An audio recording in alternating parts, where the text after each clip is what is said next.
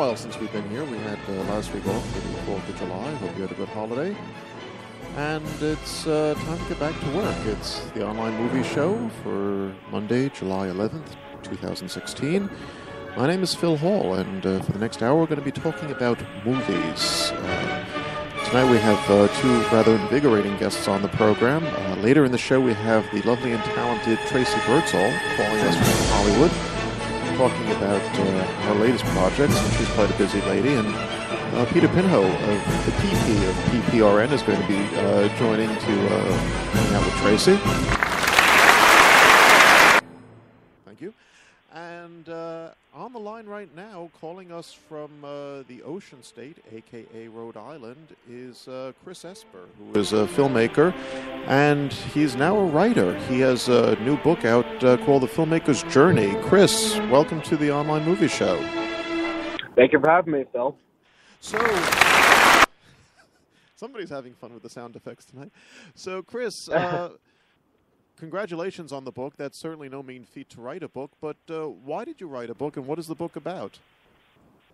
Uh, well, I did. Well, the filmmaker's journey started out as a video blog on my YouTube page uh, of the same name, where I would give just advice to filmmakers, uh, talking about um, my experiences, both good and bad, and kind of lead filmmakers into a into a direction where they feel like, oh, I can do this, uh, because there are so many things about this industry that many don't tell you about or give you advice about. You kind of get totally blind, and so I felt the need to share my experiences through that medium. And so with the vlog, you know, it uh, I try to keep it uh, three to five minutes, but of course, there's only so much I could say in that amount of time. So I thought, oh, okay, well, what if I expanded this into into a book? And I never, having never written a book before in my life, and so uh, I just basically sat down one day and I thought, okay, what what is it that I want to get across? And so I just started typing furiously and uh, and uh, ended up with this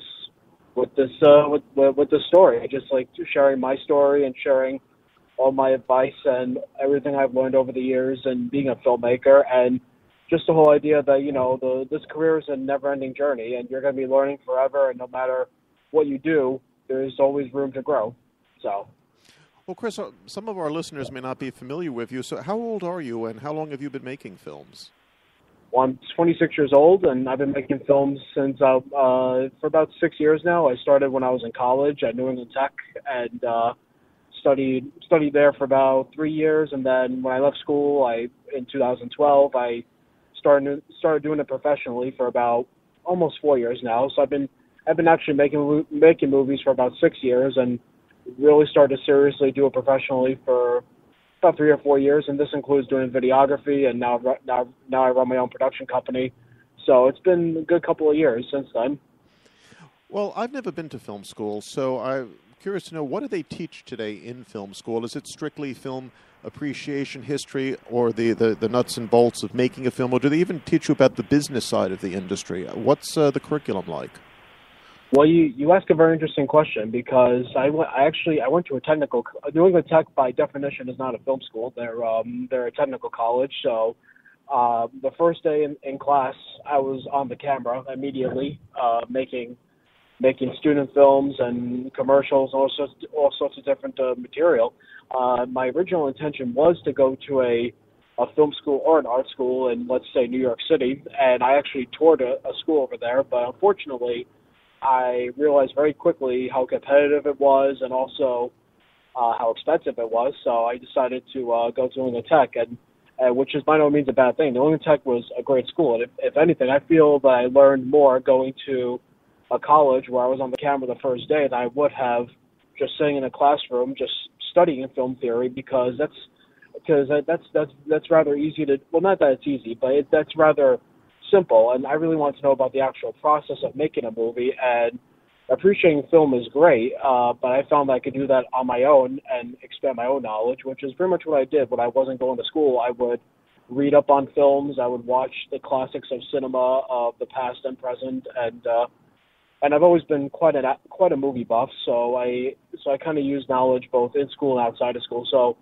I think now I think nowadays uh, it's more focused on the production side, which I think is very important because I think because uh, I think it's important to have that hands-on experience uh, rather than just sitting in a classroom just talking about what it's like to work on a movie set. And I also did take business classes, uh, so there, there was a little bit of business knowledge. Yes.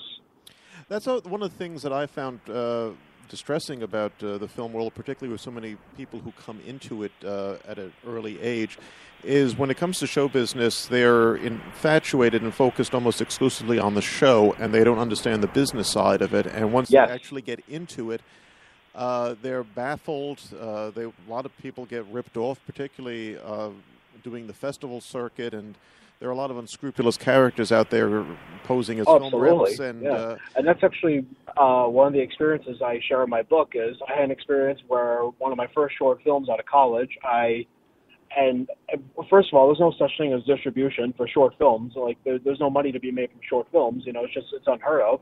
There's really not a market for it. But uh, there was one day I was I was just doing some browsing on Facebook and I came across this distribution company that was was indeed looking for short films, and not thinking much of it, I submitted.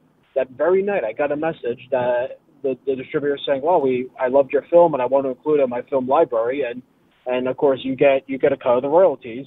And I'm like, wow, like I had to process this for a second. I'm thinking, I'm thinking, did my five hundred dollars short film really just get a distribution offer? Like I was, it was shocking. But then sadly, the company went belly up, and and the, but but it was strange because this guy wanted money for me to pay in order to get my film distributed. And of course, being a young college kid, I just thought, okay, I'll pay the money. Well, two hundred dollars later, I pay, and I only made and I made a whopping five dollars and fifty cents off my investment. So the guy, the guy literally just took my money and ran, and uh, as he did with many other filmmakers. And you know, you learn very quickly you can't trust anybody. Uh, well, you can't trust everybody, I should say, and you got to be very. That's when being a good businessman really comes in. Indeed. But with short films, uh, there's really, as you say, there's really no market for the short films at the um, uh, at the moment uh, outside of the festival circuit. They're not shown in theaters anymore. Uh, you could probably see them on. Vimeo or YouTube. Uh, sure. Do short films exist today primarily as uh, calling cards for filmmakers? What's the point of making a short film if there's no audience for it? I I think you just you, I think you made a good point. It's uh, I think it's used specifically as a calling card. Um, and also used to establish what kind of skill you could bring to a feature or some other uh, big project if you were to go to Los Angeles, let's say, um, and really make your name that way. But I think I think short films are great because it's a great way to learn your craft, how to tell a story, and uh, and that, it's good training to make a bigger project, I, I believe, and also and the festival circuit. I mean, I when I go to film festivals, there's so much talent that you discover and then they go on to make great feature films, and it's it's amazing when you see that growth from the short film to their feature film, um, and to just see that growth from beginning to end. You know, so I think I think short films certainly do have a purpose, uh, but uh, but I, think one shouldn't go in, shouldn't go into a short film expecting to make money because then I mean you shouldn't really go into filmmaking anyway to only make money because then you're just doing it for the wrong reasons. You have to have a a passion for it. I, I feel, and and by doing short films is where that passion comes from. Well, Chris, I, you make a living as a filmmaker. Is that correct? Yes, correct. Yeah. So, when did you decide I'm going to start my own production company and uh, focus on this as your uh, profession, as opposed to a lot of filmmakers who make films on the side while holding other jobs?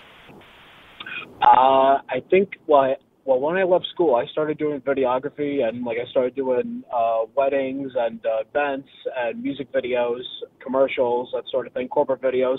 Uh, so that's pretty much how I started making my living. I didn't start my production company uh, just until this year. Actually, I started in March of this year. I started Story uh, Stories in Motion, which is uh, my company, and it's my way of still like because the one thing because videography has this really bad taboo that uh, all your creativity is stripped completely.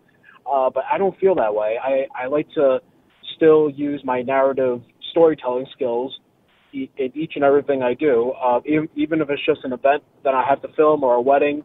You know, like every person or every company or every um, uh, product that you're doing a commercial for, let's say, everything has a story, and I feel it's important to bring out that story in anything that you do, even if, even if you're just doing a 30 second clip. You know, uh, so I, I try my best to use my talents as a storyteller and as a filmmaker, even in that arena. So I still, so I mean, so it, so for me, it's a pleasure to be paid as a videographer because I still feel like I'm being a filmmaker. I'm being that artist that I enjoy being. Well, you have a film that's currently uh, in release in the festival circuit uh, called Please Punish yes. Me, which is a wonderful film. Uh, Thank you. Tell, tell the audience what this film is about. What's the story behind the making of the film?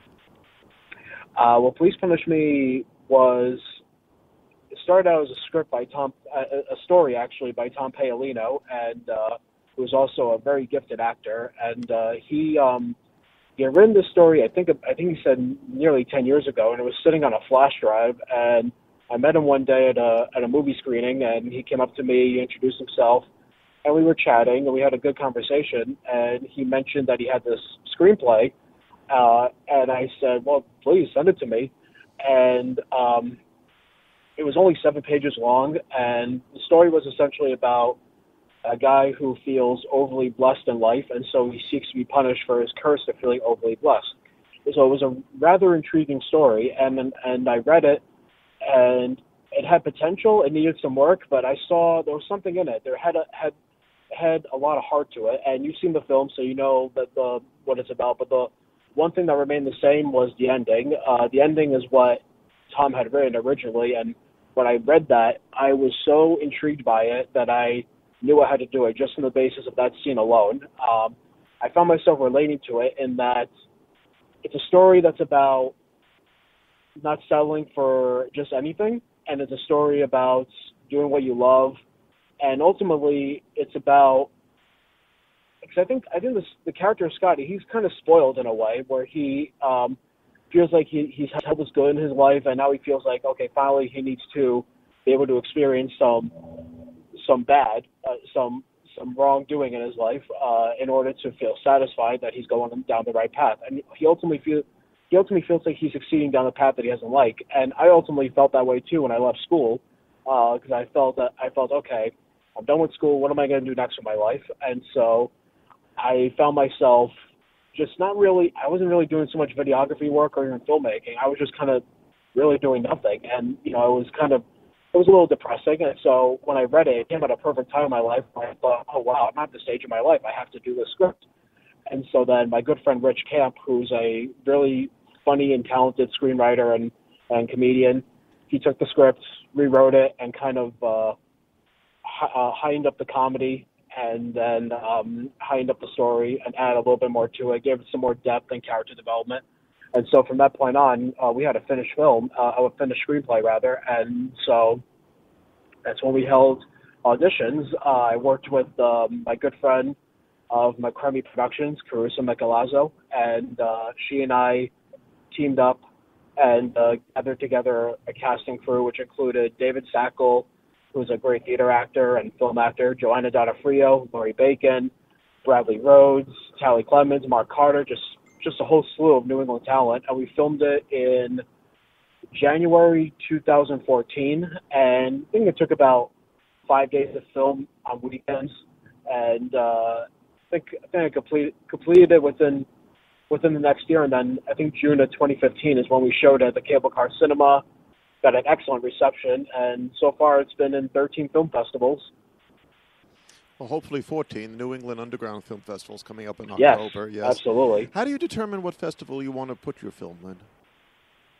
That's a good question. Uh, this is advice I also give in the book: is that it's never easy. When I first started, I start uh, I started out just by blindly submitting to multiple festivals, and I never even knew if that festival was even right for my project. And I realized very quickly that that's absolutely the wrong thing to do. It's probably the worst thing anyone could do because because every festival I feel, and you could, I mean, you could correct me if I'm wrong on this, as someone who runs a festival, every festival has, I feel, a niche audience or a market that they want to reach, uh, or uh, a, a specific type of film that they like to screen.